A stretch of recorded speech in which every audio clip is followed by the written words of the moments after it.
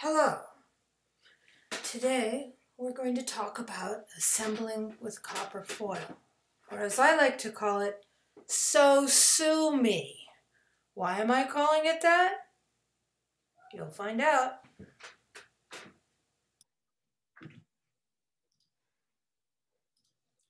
This is a 100% homemade production.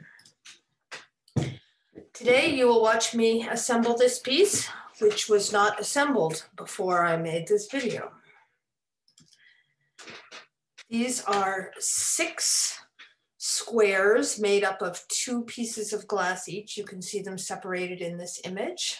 You put them together and they make something along these lines. And that's what I'm gonna put together. So why did I call it So Sue Is uh, the subject of some disdain by what I'd like to call lead snobs, people who believe that the only way to assemble a stained glass window is with lead. Copper foil was, uh, I believe, invented by Tiffany, or at least he's credited with inventing it. And it lends itself to very fine detailed work or very organic curves, things of that nature. Um, I thought this uh, image from the Morse Museum is uh, really funny because it is credited as leaded glass. Someone tell the Morse Museum it's copper foil.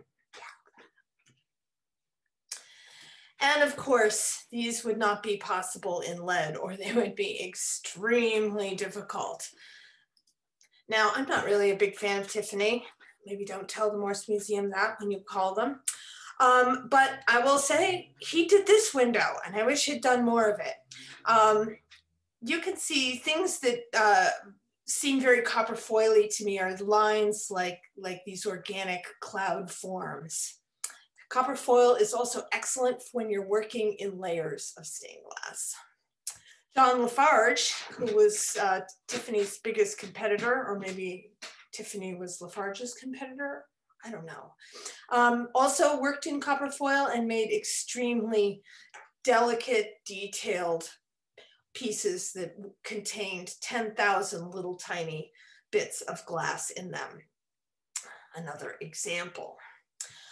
So what do you need to make a copper foil panel?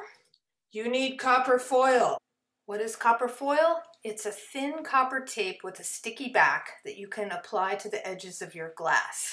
It comes in different shapes so that you can have a wavy edge and some of it has a black back which is useful if you're using clear because you can sometimes see the edges in your finished project. This is a nice dispenser. You can see, it's mine. You can see the copper foil comes in many different widths, which is handy when you're working in layers.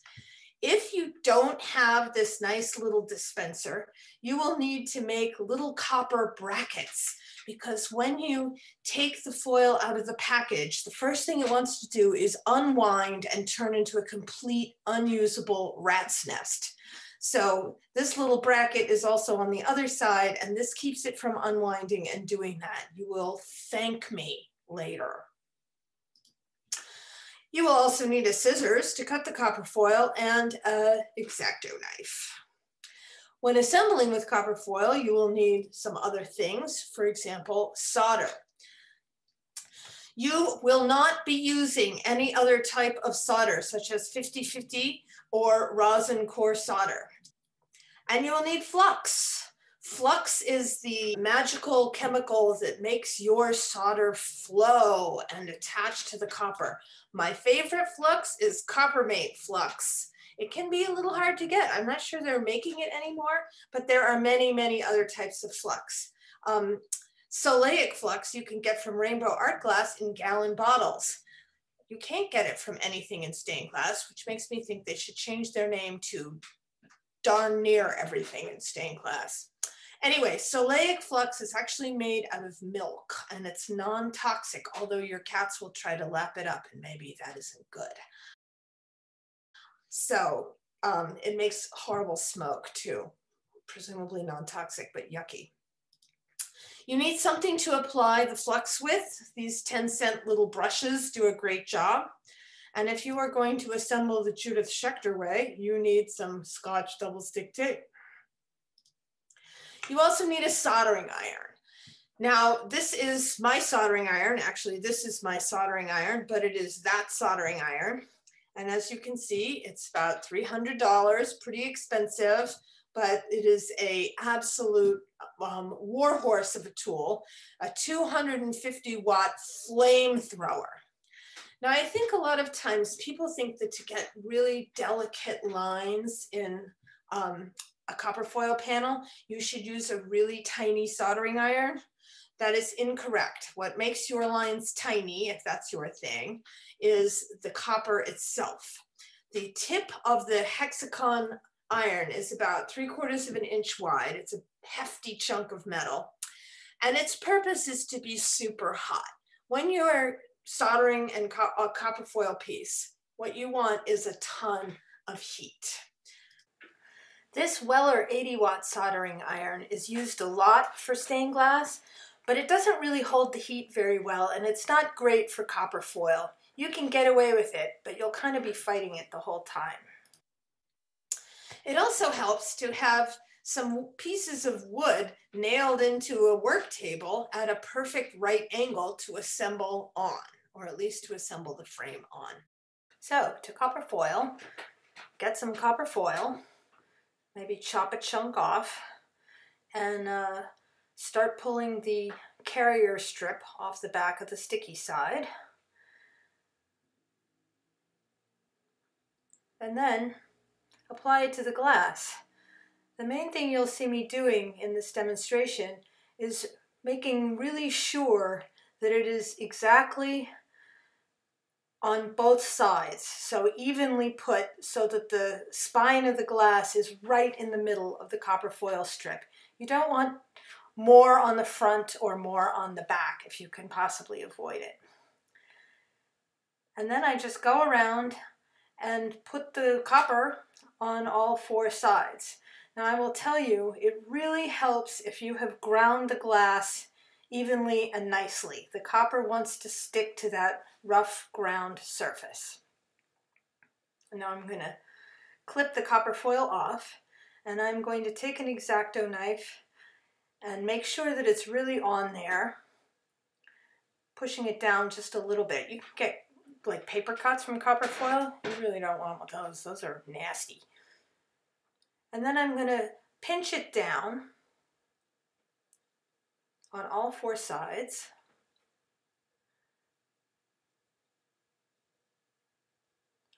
And then I'm going to smooth it very, very carefully and flat to the surface. The smoother your copper foil is, the easier it will be to solder. You want to make sure it's really on there and really down. Now, I don't know how well you can see in this video, but you don't need much copper on either side. You just need a little bit, I would say that's about 1 32nd of an inch to 1 16th of an inch. If you have it over, you might want to cut it down with the X-Acto knife because that's not structurally helping you in the soldering process. It's really just creating a lot of heat on the surface of glass, which you actually don't want. If you want fat lines in your composition, that's fine, but make the fat lines by having gaps in your piece rather than putting copper foil all over the surface of the glass. Now I'm going to fast forward the videotape because it's 20 minutes before I finish the whole thing and you will literally die of boredom because it's the same thing. But again, what you're seeing is I'm very careful to make sure that the copper foil is even on the front and the back. And then I am crimping it down and smoothing it with the X-Acto knife.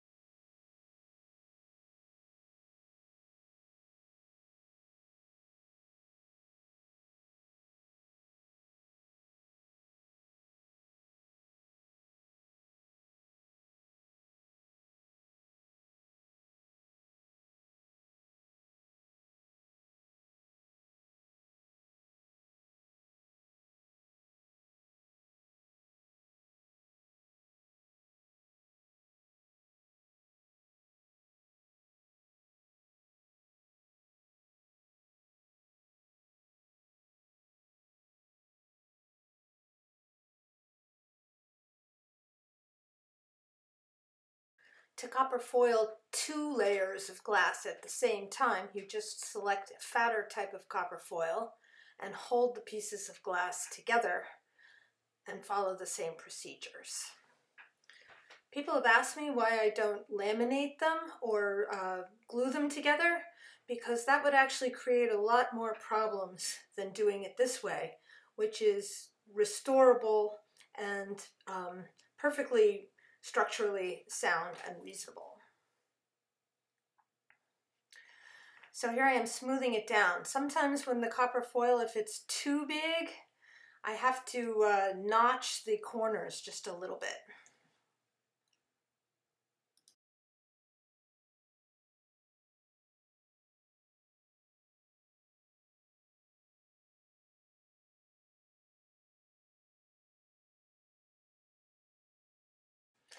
Remember, you don't want too much copper going onto the surface of the glass, so you can trim it down with your craft knife. And that's a good idea because the heat from the soldering iron can stress the glass. So you just want about a sixteenth of an inch going over the edge of your glass.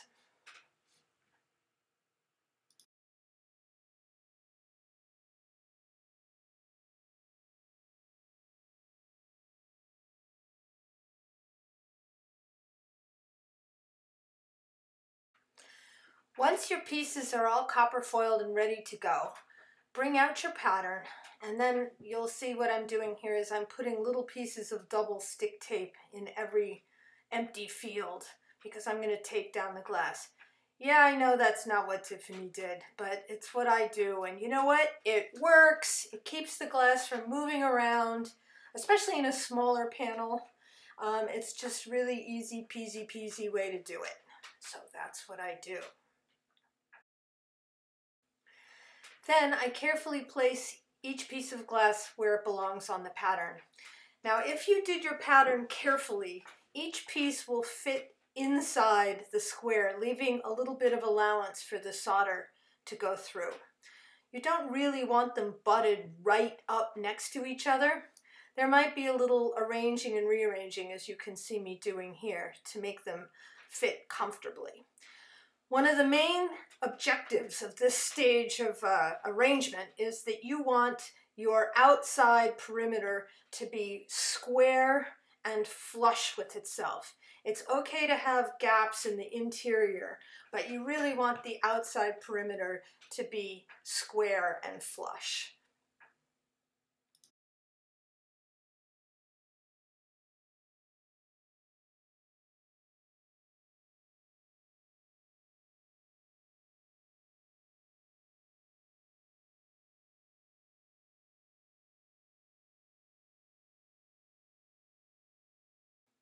And here's the piece all taped down to the pattern.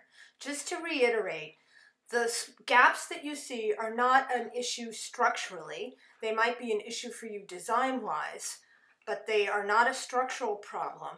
The main thing is to try to have the corners to be uh, 90 degree angles and the edges straight. A little bit of gaps in the middle is not a problem.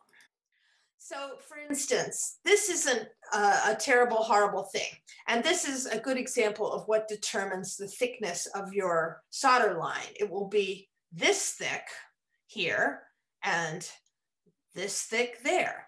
So if that matters to you, then pay close attention. But I will say the obsession with making the world's skinniest solder lines strikes me as a bizarre obsession. I like thick, chunky solder lines with a lot of character.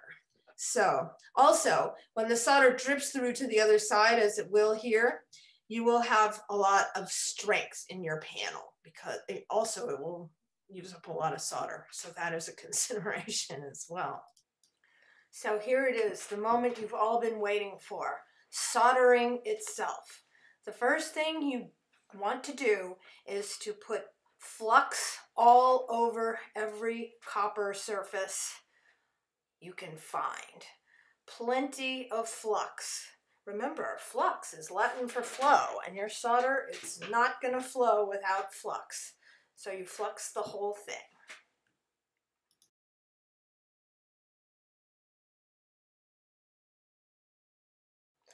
And now I'm putting on some neoprene gloves. It's not just for safety. It makes it a whole lot easier to clean your hands when you're done if you do that. So after I have the gloves on, I'm going to get um, my spool of solder and unwind it so that I have a whole bunch of solder available.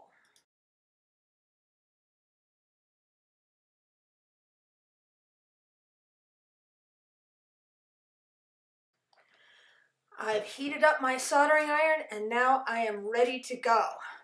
Now the thing I want you to notice is that I am putting the um, string of solder underneath the soldering iron's tip. And I'm trying to make as much contact as possible with the solder itself. I'm not holding it above and dripping it down or anything strange like that. I'm putting the solder right on the seam and putting the soldering iron on top of it. The thickness of the soldering iron has nothing to do with whether your lines are thick or not, and everything to do with how much heat it has. Also, right now what I'm doing is I'm tacking everything in place by just doing the joints. I'll go back in and add more solder and smooth it out later. So right now I'm just tack soldering the joints. Having tack soldered all the joints, I'm going to go in and start melting more solder onto the seams and smoothing it out. I'm very conscious that I want a full rounded line that looks kind of like um, a lead line. You want to make sure that the solder is um, melting down into the gaps and that it has a nice rounded top. Yes, it will flow all over the place. That's not great. I'm just leading it away from the glass so that it doesn't cause any problems. You shouldn't keep the soldering iron on the glass because it will crack the glass. Just on those edges. And go nice and um, slow and fast at the same time. How do you do slow and fast at the same time? Well, that's one of the mysteries of the ages. But you will, as you learn, you will develop a comfort with the speed at which this works optimally. Don't go right up to the edge. You need to have a little bit of a gap there so that your frame fits on. So on all the border pieces, you leave about a quarter of an inch with no solder on it so that the frame will have something to fit on. And all those little blobs of solder on your glass, you can just melt them and push them over, or you can clean them off later. It's not really a big problem at all. It comes right off the glass. The solder will only stick to where there is copper and flux. It won't stick to the copper without the flux. Um, I will also mention, you can't see this, but I am wearing a respirator with a vapor cartridge, so I'm not breathing that smoke. It goes without saying that you need to do this in a room with proper ventilation.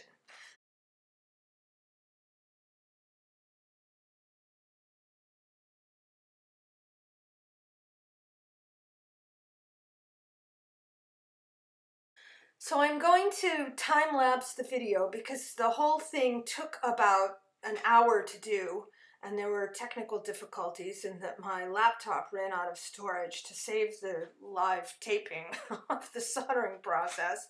Anyway, I did get it all on, but you don't need to watch everything um, in real time because it took about an hour or so to do. So henceforth, it will be fast. But I will stop every now and then and talk about what I'm doing.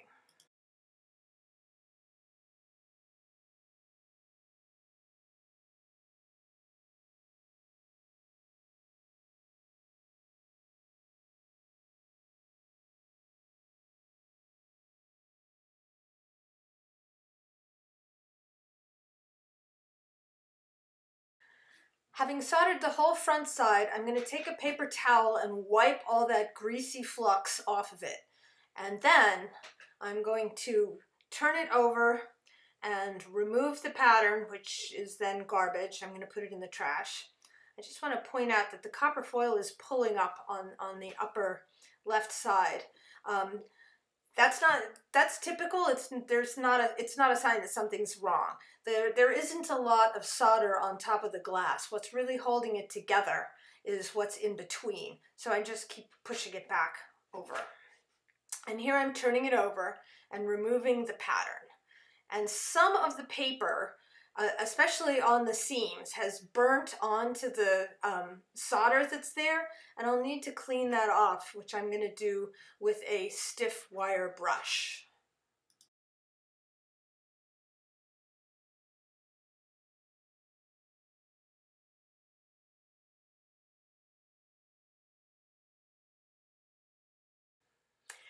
And it's pretty important that also you remove any of that double stick tape that remains because uh, that could uh, dematerialize when you solder the back, courtesy of your soldering iron, and make a big melting plastic mess, which you do not want.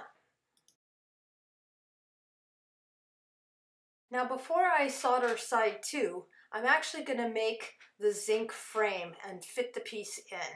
And I do that with this thing here, which is a zinc saw. So I'm just putting in the pieces of U-channel zinc right underneath the blade and making sure that it's cutting at the right spot. And then I'm going to chop it. If you don't have a saw like this, I'm sure you'll want to run out and buy one. But if you can't run out and buy one, you'll have to use a hacksaw. To size the pieces of zinc, make sure that you're leaving an allowance of about a 16th of an inch on both sides so that they fit together in a 90 degree angle, as illustrated in this slide. Then I'm going to use the corner bracket that I've made with the pieces of wood to put the two mitered zinc pieces together and slide the window in it. Now if there is no solder up to the edges. It should fit okay. And I'm going to put all four bars on and then hammer a few nails to keep everything in place while I solder those corners together. You know, I'm a really terrible measurer. I can measure 10 times and I still won't get it right. So there were little gaps in my pieces and I was struggling to make it um, fit better. And eventually I got it to the point where it fit okay. But what you're going to see me doing is uh, soldering a mistake in one corner, which happens to me with alarming frequency. But there's always a workaround. Isn't that comforting to know?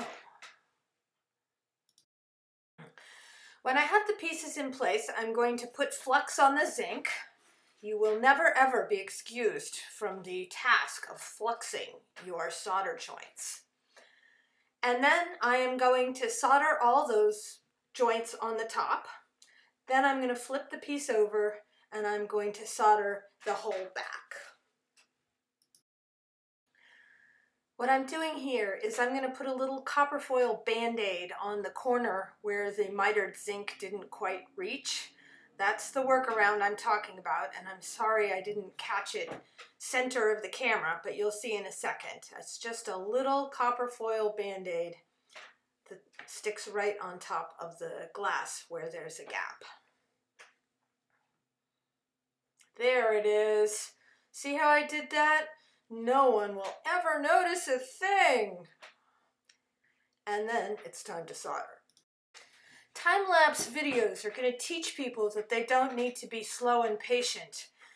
Go slow, be patient, you'll get much better results.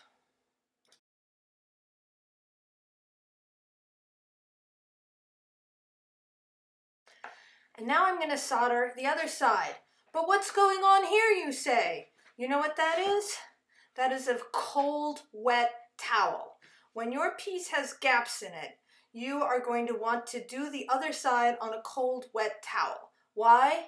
Because that will trap and chill any solder that might be wanting to go through and create a uh, um, sort of nightmarish experience where rivers of solder are going back and forth from front to back. As you can see, I'm having a lot of difficulty arranging my wet towel. But there you go nice and flat, and then I'm going to flux everything and I'm going to solder in uh, um, 20 times faster than it takes.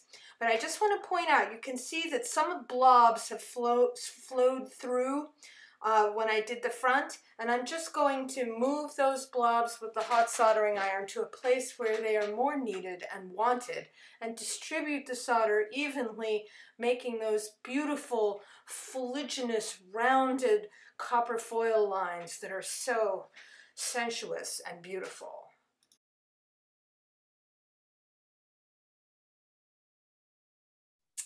A really nice solder line has a very smooth, even look to it and a rounded top.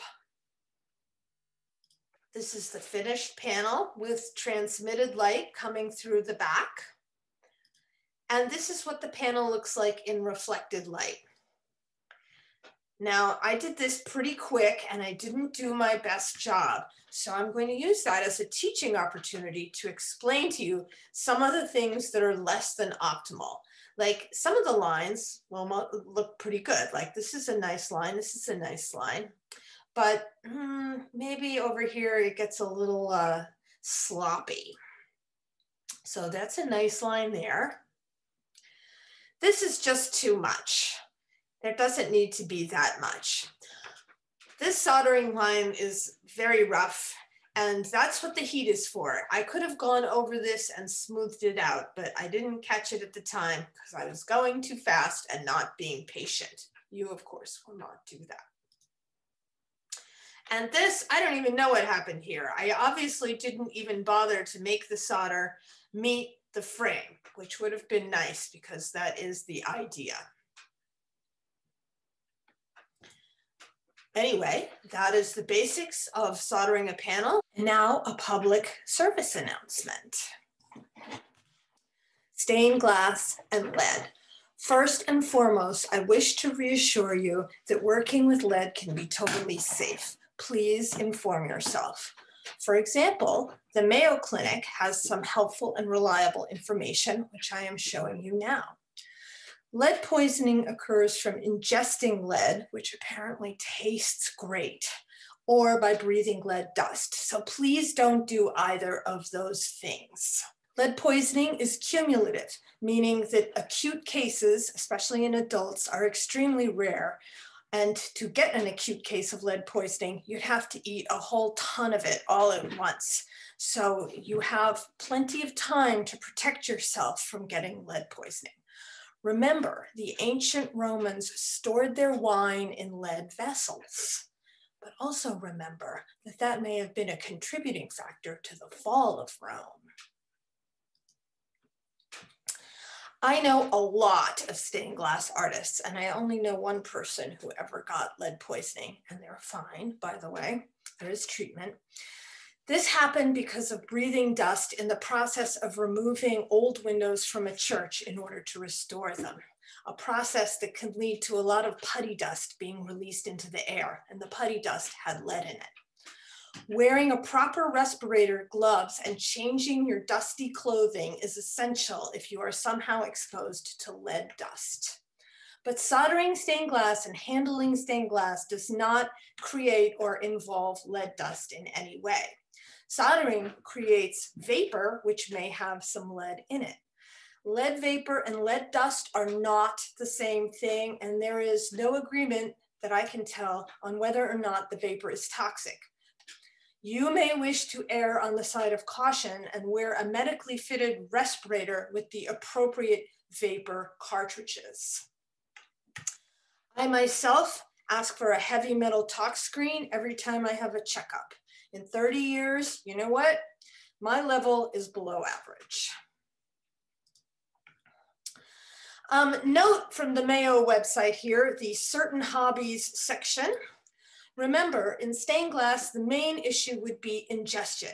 This can't happen if you wash your hands after touching lead. So wash your hands and don't eat the lead.